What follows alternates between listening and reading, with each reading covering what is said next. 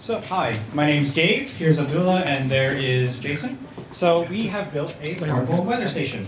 Now, how many people here have allergies? A lot of us, right? So, in 2012, 17 million adults suffered from hay fever, allergies. And we also have 6.6 million children also suffered from allergies.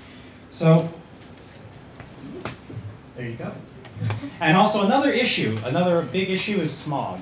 Um, pollution in the air, um, especially in China, is causing cancer and other bad diseases.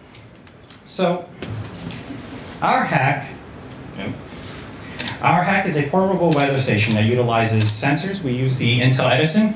On the Intel Edison, we have uh, temperature probes, we have a dust and particulate sensor, um, we have air quality sensors, which will measure carbon dioxide, alcohol, acetone, um, um, thinners, and formaldehydes. Uh, we also have a UV sensor so that you can tell you if you need to put your sunblock or anything like that. Um, and then we use, we, we take all this data and we send it to IBM Bluemix. Um, and from there, we use Node-RED to send it to Twilio. So um, you can get your information on the go. And there's also a GPS sensor built right in. So you don't even need to set where you are. You don't need your phone. This is a all. This is a embedded system, and that and you don't need anything else to set this up.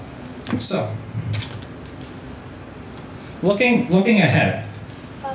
So the Intel Edison is pretty big. Um, moving forward, when we finalize this product, the Intel Edison is actually just this chip right here. And you can potentially fit all of the sensors and everything into something the size of an Altoids tin.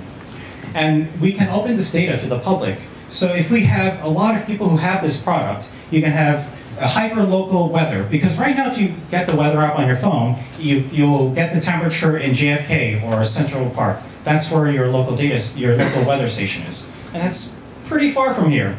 So this will tell you much more accurate temperatures. It'll get you UV, uh, UVs, um, I'm sorry, uh, UV rays, and it'll also tell you about the, um, the pollution in your area. And it is a very low power device at 5 volts, or can even run on 3.3 volts, so it, need, it doesn't need that big of a battery. So, on to the demo. So the screen on here is pretty small, so what I've done is I've taken pictures of it so that I can show you guys. So this is what it looks like when you run it. I will run this program again, and then I will get a text. You can see this turns on, turns off, and it lights back on. And on my iPad, I just got a text. And because my iPad is small as well, that's what it looks like. So it gets all of this data and it sends it to you, um, and yeah. Questions? Comments? Smart remarks? yes. Yes.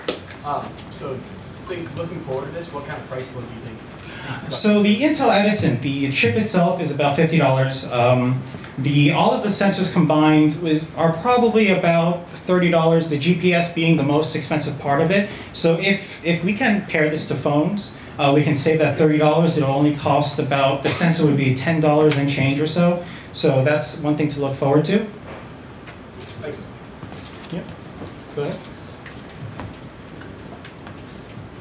So at the moment, you get a text from your portable weather station to your phone number.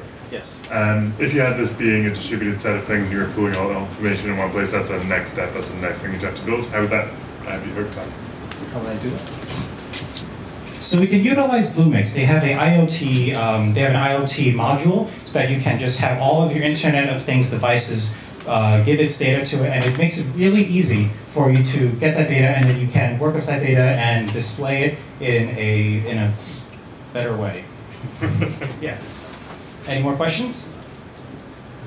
Great. Thank you very much.